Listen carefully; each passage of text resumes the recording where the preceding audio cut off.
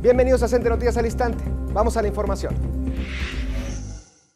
Es urgente proyectar el sistema educativo más allá de la COVID-19 para que una vez abiertas las escuelas se avance hacia un aprendizaje con mayor equidad, consideró el secretario general del CENTE, maestro Alfonso Cepeda Salas, durante una reunión organizada por la Internacional de la Educación con la presencia del director general de la Organización Internacional del Trabajo, Guy Ryder. En un diálogo abierto, los dirigentes magisteriales del mundo coincidieron en que los gobiernos están obligados a reducir la brecha digital que actualmente aleja de la educación a niños y jóvenes de escasos recursos.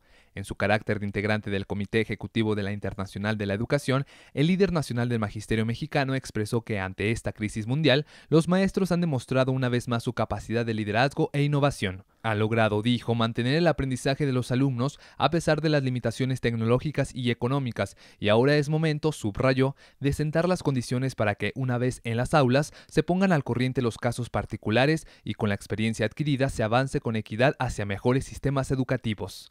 Hoy, como siempre, destacó, es necesario que se respeten los derechos laborales, los salarios y las prestaciones de los docentes, enfatizar que no se recorten los presupuestos para la educación, la ciencia y la cultura.